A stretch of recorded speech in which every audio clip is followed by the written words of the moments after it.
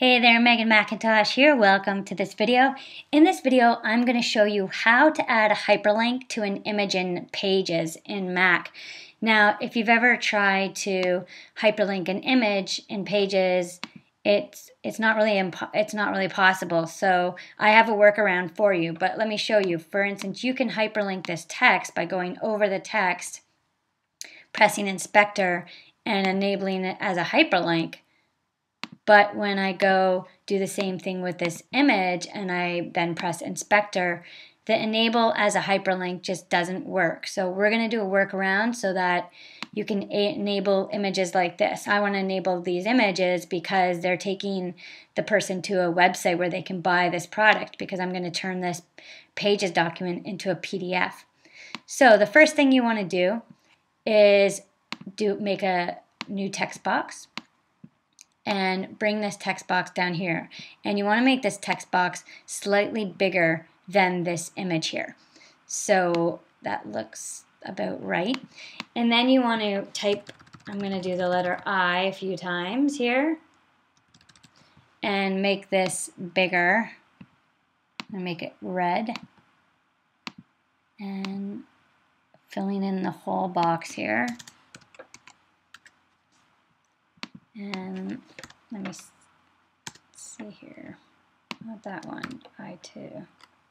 Let me make it 70. There. And one more.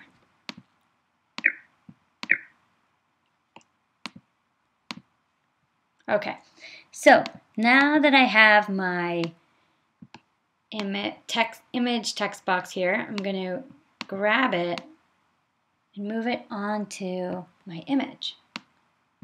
Okay, so I'm just going to move it in the right spot on the image. Looks good here. And then obviously that doesn't look that great. So you want to take this here, open up the inspector, grab your link,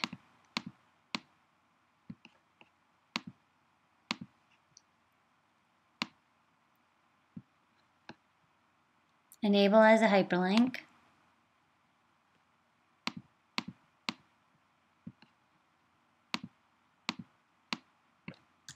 Here we go. That's the hyperlink I want for that image.